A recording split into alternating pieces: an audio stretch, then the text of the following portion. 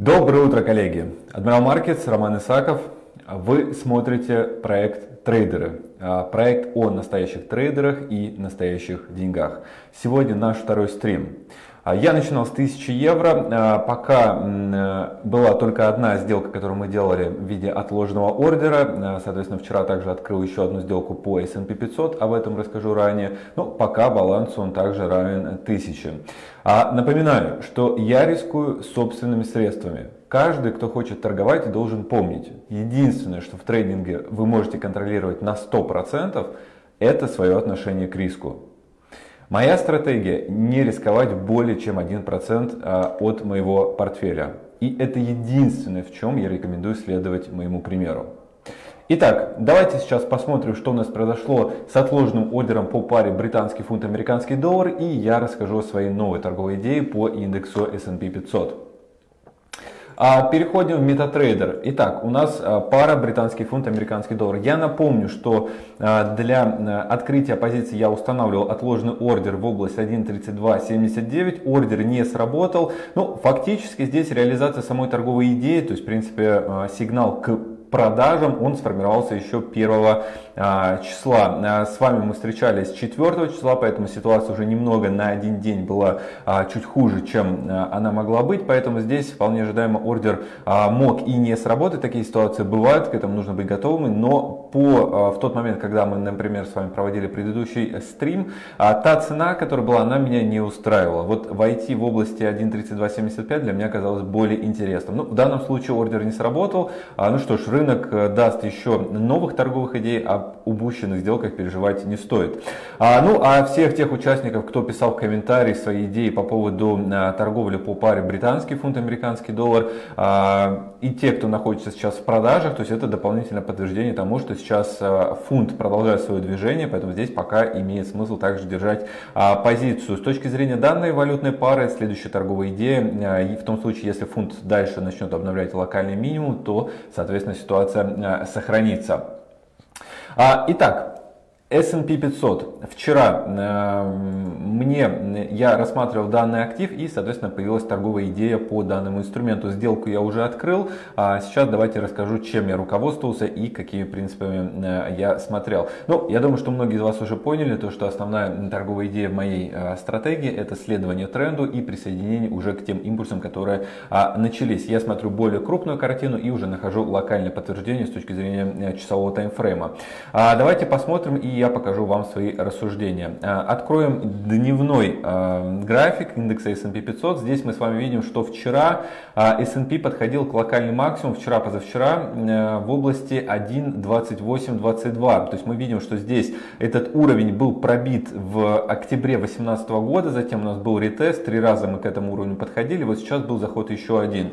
Фактически сейчас мы можем предполагать, что от этого уровня может начаться или нисходящее движение, движений, то здесь как цель максимум это прийти в область 1.2344, но такое бывает не сразу, а, или а, может произойти коррекция, и тот, и тот случай для нас наиболее интересен. Пока мы не знаем, насколько будет это движение большим, но сейчас есть, а, была возможность да, присоединиться к этой сделке непосредственно на продажу, соответственно, дальше уже как ситуация будет развиваться, мы будем вместе с вами смотреть. Но продать по самой максимальной цене, я считаю, что для трейдера всегда очень интересно.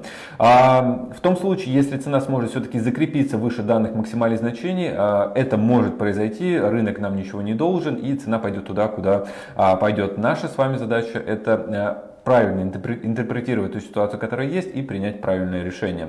А, соответственно, сейчас а я нахожусь эм, в продажах. Сейчас давайте посмотрим более э, мелкий таймфрейм, да, S&P 500. А, вход был по цене 1.2795. Стоп-лосс я убрал за локальный максимум. Это максимум 4 а, марта. Сейчас он находится по цене 28.23. У меня имеется э, примерно 2 евро плавающей прибыли. Э, соответственно, сейчас я ожидаю движения обновления локальных минимумов и, соответственно, движение уже дальше вниз, уходит ниже минимальных значений 4 марта, ну и дальше уже в область на 2725. А в этом будет заключаться моя торговая идея. Пока стоп-лосс я перемещать не буду. Сделаю это только в том случае, когда цена обновит локальный минимум. Но об этом я также расскажу уже а, в следующем а, нашем а, стриме. А, итак, о чем важно поговорить? Да? Первый инструмент, который мы э, открывали, был, э, была валютная пара. Да? С этим все казалось бы просто. Сейчас мы рассматриваем CFD на индекс. Я взял S&P 500. S&P 500 это крупнейший а американский индекс, а, в этот индекс входит 500 акционерных американских компаний в разных пропорциях в зависимости от сектора. И важно помнить, что это 500 не крупнейших компаний, да, а именно а, акционерных, потому что те компании, которые не котируются публично, они в этот индекс не попадают. И еще важное понятие, это что такое CFD, да, CFD на индекс. Фактически CFD это контракт на разницу, да, если перевести с английского языка. Это спекулятивный инструмент, который не дает право владения активом, но дает возможность спекулировать на как раз изменение э, ценовой стоимости. А когда дело касается именно трейдинга, владение активом ну, действительно не принципиально. То есть нам не важно, чтобы нам привезли а, баррель нефти домой да, или, например, золото. Мы хотим э, зарабатывать именно от разницы э, курсовой стоимости. А важно получить максимальную возможную прибыль, при этом минимизировать издержки. А также контракт на разницу позволяет зарабатывать не только на росте актива, но также и э, на падении. Ну и плюс дает возможность использования а, кредитного плеча, что уменьшает э, возможность для входа. В данном случае мной была открыта сделка объемом 3 десятых лота. А объема здесь чуть меньше, например, чем по валютам, но а, вы всегда можете посмотреть э, калькулятор трейдера. Ссылка также будет в описании к этому видео и рассчитать каждый актив, каждый э, инструмент. А для торговли я использую платформу MetaTrader 5 и бесплатный э, плагин от Admiral Markets, который называется Supreme Edition, который позволяет также а, рассчитывать риск уже непосредственно в платформе. В первом видео мы с вами это делали. Кто его пропустил, сможет вернуться и пересмотреть. Ссылку на платформу и плагин в описании к этому видео. А также Коллеги, э, нам важно э, ваше мнение. Сейчас мы планируем э, на март серию вебинаров. Напишите, пожалуйста, те темы, которые для вас были бы интересны. Возможно, это поиск для входа, торговля на новостях, разбор каких-то инструментов, каких-то индикаторов, каких-то принципов торговли. Вот напишите, пожалуйста, сейчас в комментариях, что бы вы хотели, в чем хотели бы вы разобраться да, в течение 45 минут, пока идет вебинар. И наиболее интересное, мы запланируем уже а, в марте. Итак, свой следующий стрим я проведу уже в пятницу, 8 марта, а, Международный женский день, и тем не менее в этот день выходит также а, показатель, который называется Non-Farm Payrolls. Я напомню, что он не выходил 1 марта, его перенесли именно на 8, то есть это получается уже вторая пятница а, в марте.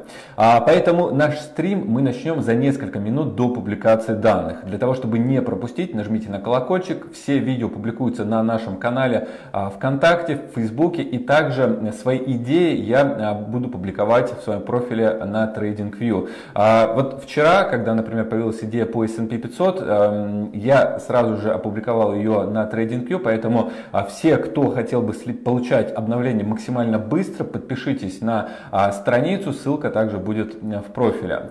Итак, коллеги, всем спасибо за внимание. Увидимся с вами уже 8 марта в 13.30 по Лондону, 14.30 по Берлину, 15.30 по Таллину, Киеву. 16.30 по Москве. Ставьте стоп-лоссы и лайки. Всем спасибо за внимание и до свидания.